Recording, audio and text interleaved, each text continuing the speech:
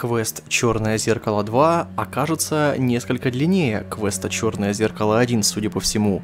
Но за это все я могу сказать только спасибо разработчикам, ведь они подарили такое продолжительное удовольствие от этой игры. Она захватила нас сразу и где-то холодит душу, леденит сердце, но все-таки приковывает наше внимание своей интересностью. И вот уже 30-ю часть мы с вами начинаем, и сейчас момент, который наверняка ждали большинство из вас э, больше всего. Большинство больше та самая тавтология. Мы стоим перед э, порогом таких знаменательных событий прибытия к черному зеркалу. И Дерен, узнавший, что он является одним из Гордонов, сейчас переживает целое извержение чувств внутри себя такое подобное извержению вулкана. Там все в нем э, бушует, шумит. И если мы посмотрим записи, да, которые он сделал, он выразил это одним словом безумие. Ладно, надо двигаться дальше, друзья. Давайте двигаться. Кажется, ворон копался в рюкзаке. Наверное, искал что-нибудь съедобное или какую-нибудь блестящую штуку. В рюкзаке мозаики нет, и рядом на земле я ее тоже не вижу. Для полной уверенности нужно заглянуть в спальный мешок. Сделаем это, а я сделаю глоток кваса. Ничего, никаких мозаик. Кажется, я знаю, где она. Значит, мне нужно только найти в замке две мозаики — и забрать третью у пернатого воришки. Такие вот делишки. В рюкзаке мозаики нет. И рядом на земле я ее тоже не вижу. Ворон полетел в сторону замка. Так. Замок Блэк Миррор. Лучше пройтись пешком. Подальше от деревни и людей.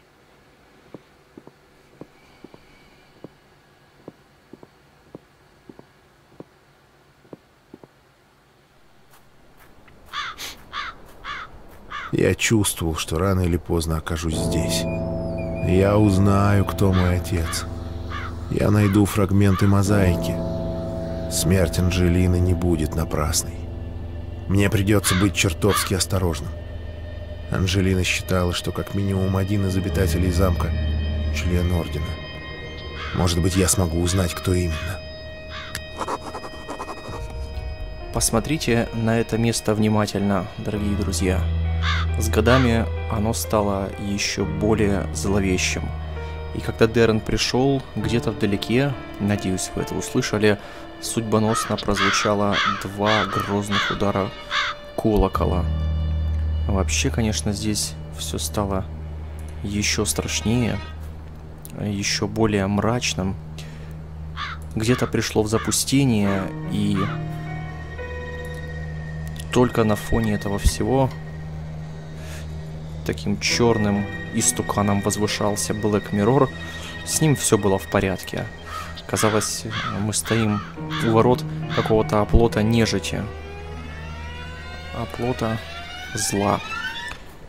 Тут нимфы. Давайте по порядку смотреть, но сначала посмотрим, что тут. Дорога ведет в деревню. Но ответы на мои вопросы здесь, в замке. Ответов на свои вопросы я в деревне не найду. Разве что наткнусь на свору фанатиков из Ордена. Лучше пока останусь здесь. Даже деревья здесь какие-то колючие, зловещие, острые такие. Да, недобро... недоброжелательные. Вот густые свинцовые тучи, как будто хранят в себе легионы зла, готовых в один момент обрушиться сюда и облепить этот замок. Эти каменные статуи почти одинаковые. Не вижу ничего интересного. Эти каменные статуи почти одинаковы. Ворота почему-то закрыли, что называется, за четырьмя замками, обвили Пару цепями. дней назад я и не думал, что окажусь перед этими воротами. Все точно, как на фотографии. Словно время здесь остановилось. Обратили ли вы внимание, что Сэмюэль... Почему я сказал Сэмюэль? Что Дэрон а, сказал, когда сюда прибыл, что он чувствовал, что рано или поздно прибудет сюда. Значит ли это, что проклятие и власть замка над ним проявляется все сильнее, и изнутри его побуждения подсказывали ему об этом? Есть еще одна закономерность, на которую, наверное, важно обратить внимание. Помните, в каком настроении сюда прибыл Сэмюэль? Он приехал с траурными чувствами на похороны Уильяма. И сейчас Дэрон прибывает сюда тоже с еще более подавленными чувствами от потери Анжелины. И есть такая связь. Тогда э, наш герой прибыл сюда в связи с смертью кого-то. И сейчас оба они были очень расстроены, раздавлены. Вот, вот такая, ребят, параллель. Ворота массивные и крепко заперты. Здесь не пройти. Ну, давайте посмотрим на этот мрачный силуэт. Замок выглядит чертовски мрачно. Свой вклад в образ вносит и одичавший сад, и сырой туман, и мое теперешнее настроение. Наверное, вся территория замка обнесена забором. В этой стране аристократии не жалуют традиции открытых дверей.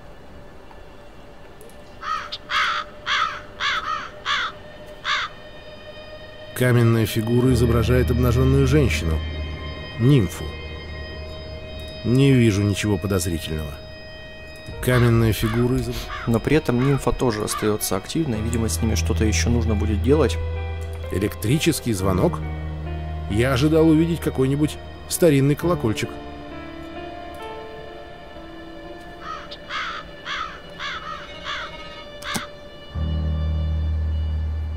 Ничего. Может, сломался?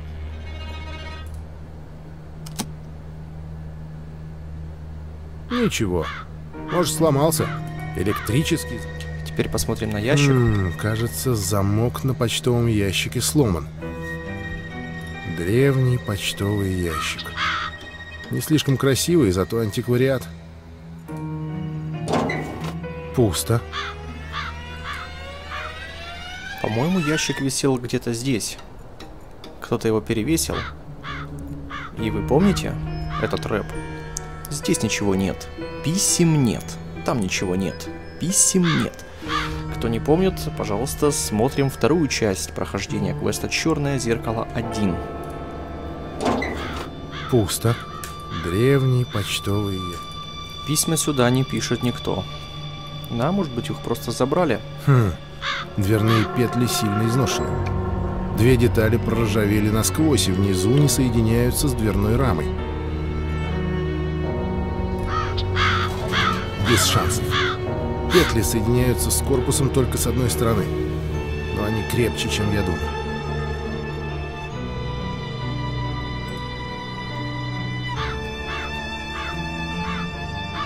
Похоже, в Англии проще относятся к ноготе. Нет необходимости так тщательно ее рассматривать. Ну, так хотелось. Похоже, в Англии проще относятся к ноготе. Вон там, в кустах, палка в руку толщиной. На вид крепкая. Вон там, в кустах. Давайте возьмем сук. Влажная, но не гнилая. Наверное, недавно отломилась. Может быть, во время вчерашней бури? Толстая ветка длиной в полтора метра. Крепкая. Письмо от Анжелины. Дэрон, надеюсь, что имя... Давайте попробуем взять нож и что-то сделать с этой палкой. Здесь что? Кружок резьбы по дереву? Нет, одной вполне достаточно. Хм. И давайте прочитаем запись. Пробраться в Black Mirror. Итак, вот он. Замок Black Mirror. Черное зеркало. Похоже, все дороги ведут именно сюда. Осмотрюсь в замке и узнаю ответы, которые ищу так долго. Звонок не работает. Единственная возможность попасть в замок это взять рычаг и правильно применить силу, чтобы дверь сошла с петель. Может попробовать поковырять ее ножом. Давайте попробуем. У нас есть даже до сих пор ключ, отмычка. О, интересная идея. Я никогда не пробовал применить отмычку на эту дверь. Нет, так я только лишусь драгоценного воровского инструмента. Не думаю, что получится обхитрить эту дверь.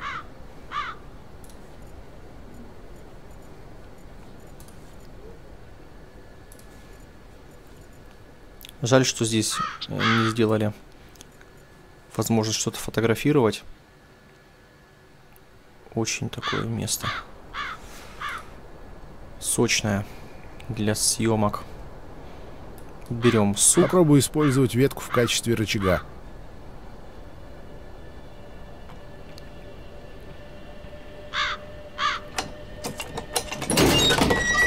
У нас получается.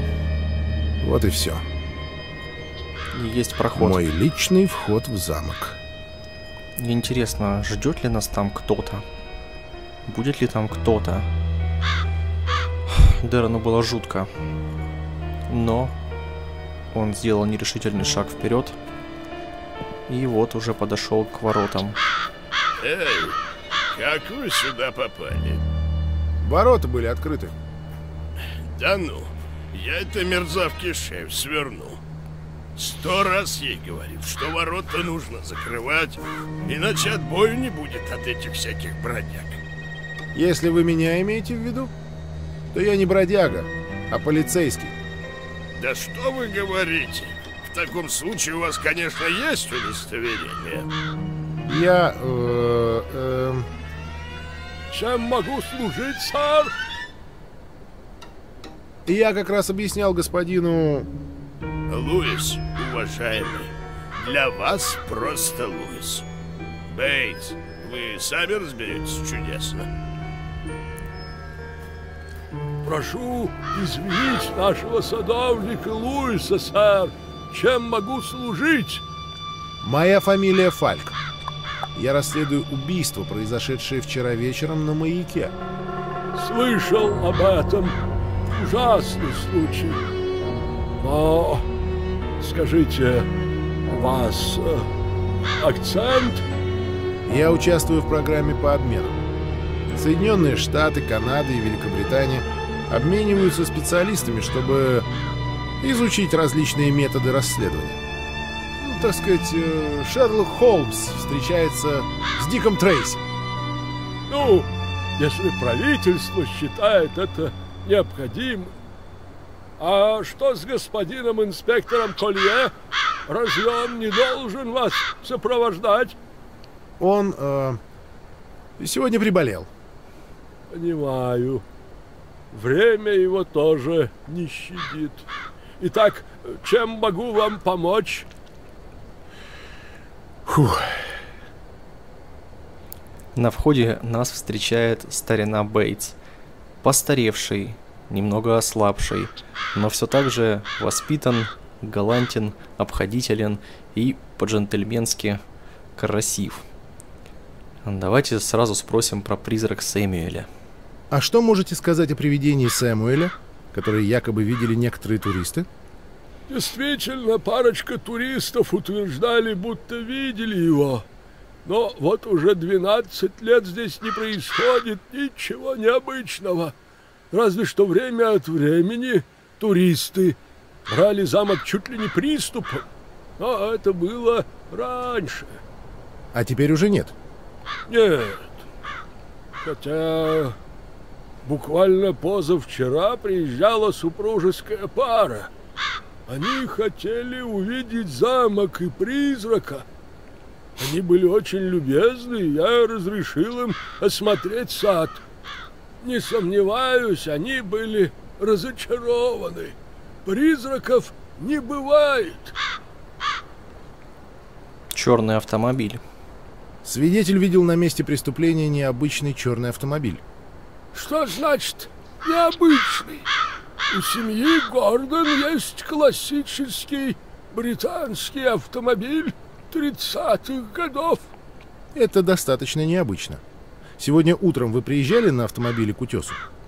Да, мы сегодня не выезжали. И я сомневаюсь, что Луис брал машину. Спросите его. Он у автомобиля или уже в саду? Луис. А этот Луис производит впечатление жесткого человека. Он валиец. Правда? Он последовал за своей хозяйкой, леди Элеонор, когда-то переехала сюда после смерти мужа. В Уэльсе он ухаживал за садом в ее замке. В ту пору он относился к работе иначе. У леди Элеонор замок в Уэльсе? Да, несколько лет назад произошел чудовищный несчастный случай, в результате которого погиб ее муж, сэр Ричард. Вскоре после этого она перебралась сюда. Интересно. Тут мы еще немного узнаем истории. Помним, да, как э, Уэльс пришел в запустение после того, как его покинули, но Луис теперь здесь, в черном зеркале, тоже знакомый нам персонаж. Вы, кажется, упомянули неких дам. Леди Виктория, хозяйка замка Блэк Миррор, и леди Элеонор, ее родственница из Уэльса. Эти дамы последние из рода Гордонов, они управляют замком. Я мог бы побеседовать с этими леди? Я бы настоятельно рекомендовал не беспокоить их. Леди Виктория – женщина преклонных лет. Всего пару слов. Это, надеюсь, возможно? Все, что вы хотите обсудить с дамами, вы можете обсудить со мной. Я работаю у Гордонов больше 70 лет и могу ответить на любой ваш вопрос. Какое поразительное место. Да, действительно легендарное. К сожалению, эти легенды рассказывают в основном о кровопролитии, смерти и несчастьях, как я слышал. Члены семьи Гордон часто подвергались испытаниям. Это верно. Простите мою бестактность, но сам замок не производит особенного впечатления. Не думал, что это имеет отношение к вашему расследованию, мистер Фальк. Анджелина. Убили вот эту женщину.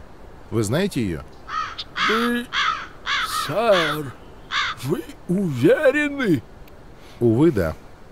Ее имя Анджелина Морган. Похоже, вы с ней знакомы. Я... Пойдемте, сэр. Нужно показать это дамам. А, хорошо.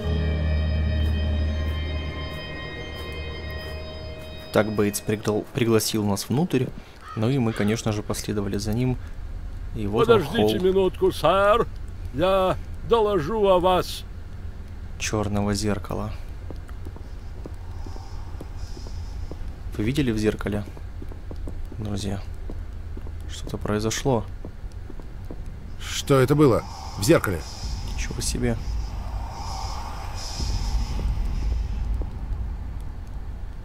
Мистер Фальк, дамы готовы вас принять. Все тот же Мистер портрет Фальк, вам плохо? Маркуса и Мордреда. Нет, нет, спасибо. Э, Просто не выспался. Леди Виктория? Леди Элеонор? Я инспектор Фальк. Расследую убийство. Бейтс сказал, что у вас есть фотография жертвы. Совершенно верно. Вы знаете ее? Как ее зовут? Анжелина Морган. Мы не знакомы. Если это все, Еще пара вопросов. Все в порядке, Бейтс. Несомненно, мы окажем полиции помощь. Поезжайте в деревню и исполните мое поручение. Я уверена, что инспектор будет рад составить нам компанию. с удовольствием, мадам. Итак, чем мы можем помочь полиции? Осмотреть замок.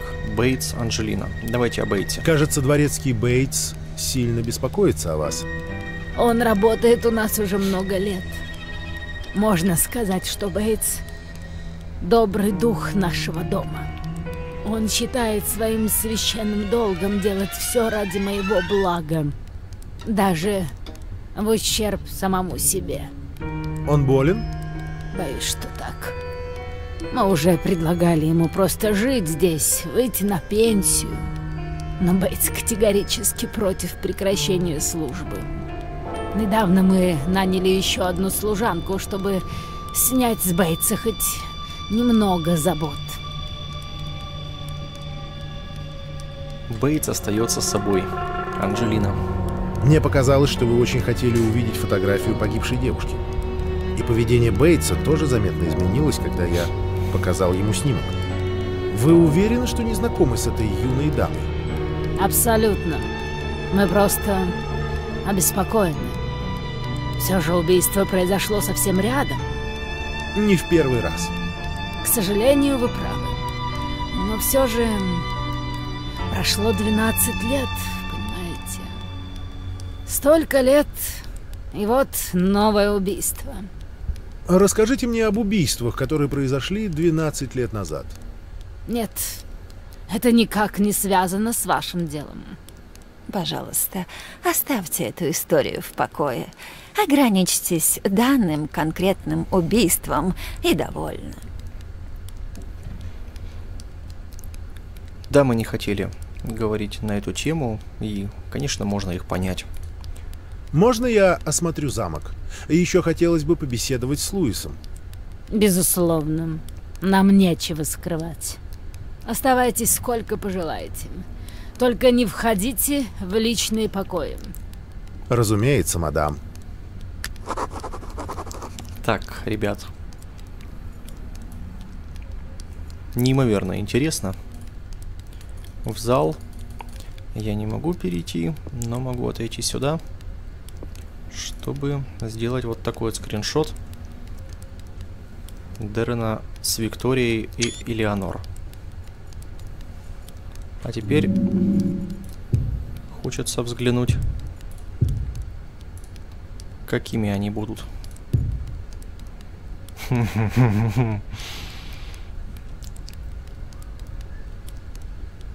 Интересно, да?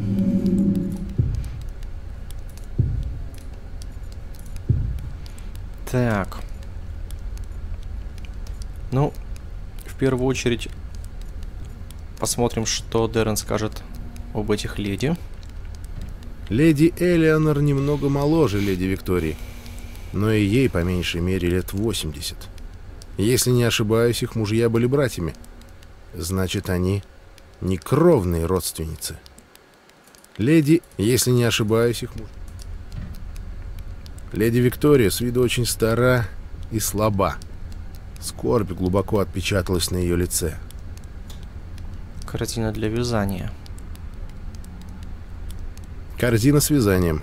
Нитки, ножницы и все такое. Корзина с вязанием. Нельзя ли одолжить нитки, леди Элеонор? Нитки? Да, будьте любезны. Скажем, отрезок метров два. Как угодно. Пожалуйста. Спасибо. Бечевка всегда пригодится. Я захватил самую прочную. Не знаю, что пожилые дамы находят в вязании. Возможно, это просто способ убить время. Да, я тоже никогда не понимал. Давайте посмотрим на нитку. Нить длиной около двух метров. Очень прочная. Думаю, выдержала бы и тонну.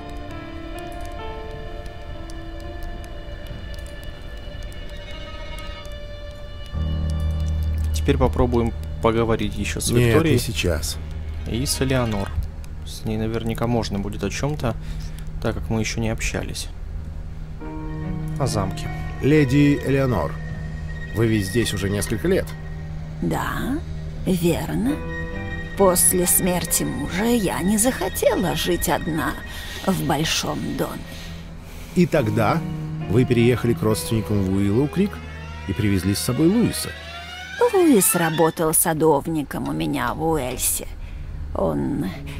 Иногда с ним бывает сложно, но я просто не смогла прогнать его.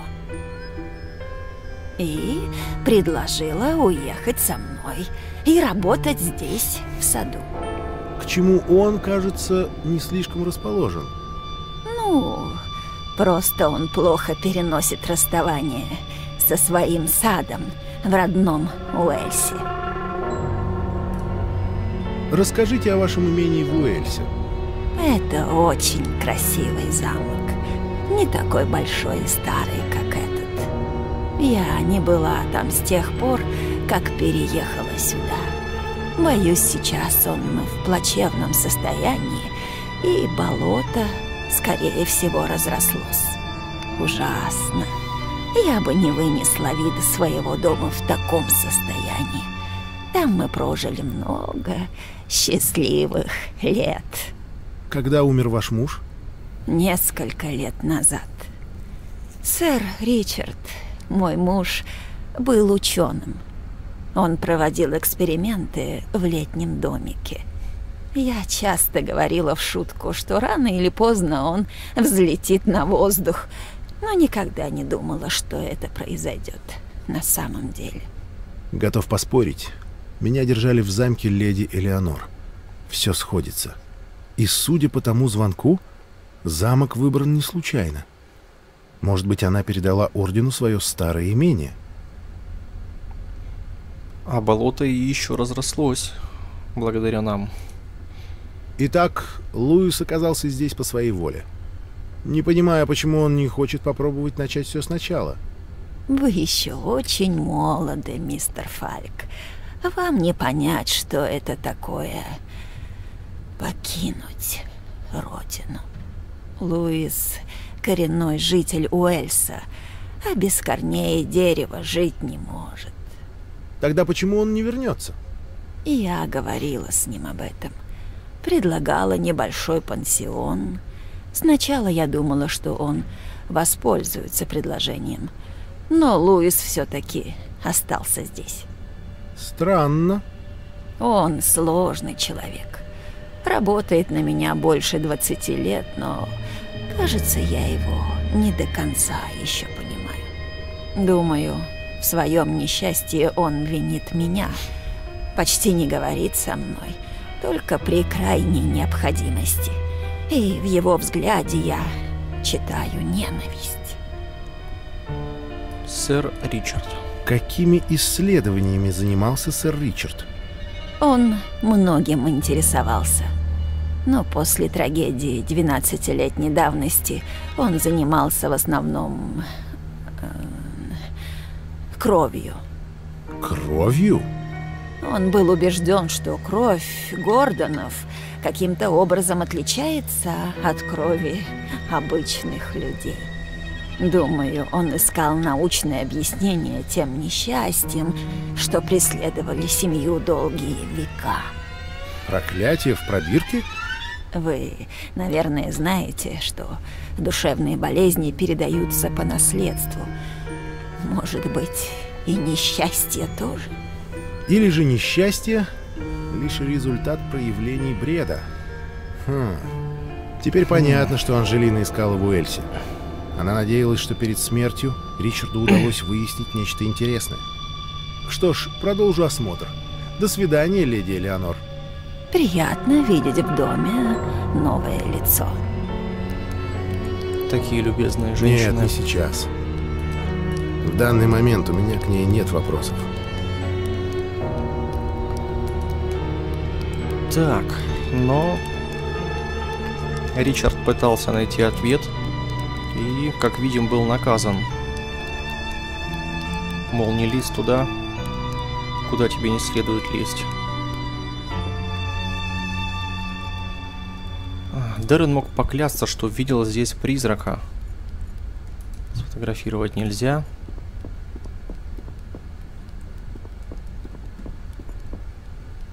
Похоже, я схожу с ума, подумал он. Дверь чуть приоткрыта. Можно разглядеть книжные полки. Это библиотека. Еще одна дверь. Еще один коридор, еще одна комната. Сколько же всяких закутков в этом замке. Здесь интересные перила сохранились. Николаю понравилось, я помню, в первом зеркале. Входная дверь открыта. Но в холле не холодно. Камин прекрасно согревает помещение. Давайте попробуем выйти. Тут так много можно осмотреть. Но есть же еще улица, сад. Так, это чудесная. Просто чудесная картина для скриншота. Прям можно было ставить ее на обложку видео.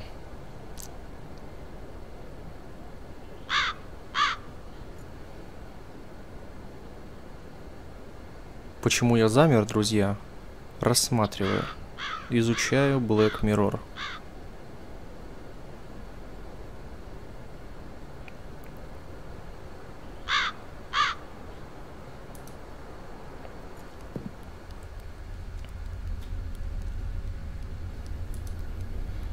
Так, я что-то еще хотел. Я хотел сделать скриншот вот этого места.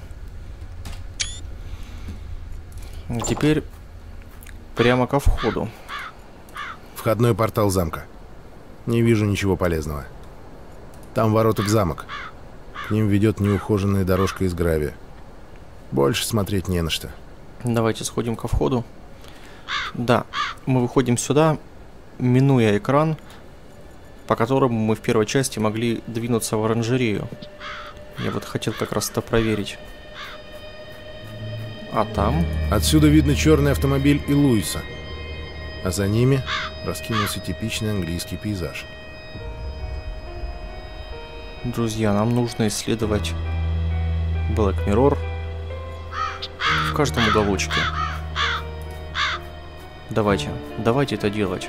Давайте это делать в следующей части. Смотрите только те прохождения игр, которых они пройдены полностью, на 100%. И приходите смотреть продолжение.